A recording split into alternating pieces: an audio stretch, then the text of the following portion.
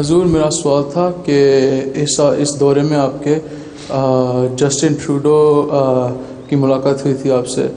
تو اگر تھوڑا سا خلاصہ آپ بیان کر دیں جو باتیں ہو رہا ہوئی تھیں۔ خلاصہ بیان کر دوں؟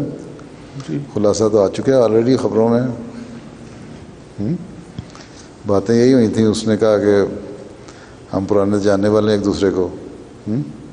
اور جماعت احمدیہ بڑے اچھے کام کر رہی ہے ملک کے لیے بڑی خدمت کر رہی ہے۔ اور ہم اس کو ہم اپریشیٹ کرتے ہیں۔ اور میرے متعلق کچھ ایک دو الفاظ کہے تھے۔ میں نے اس کو شکریہ ادا کر دیا تھا۔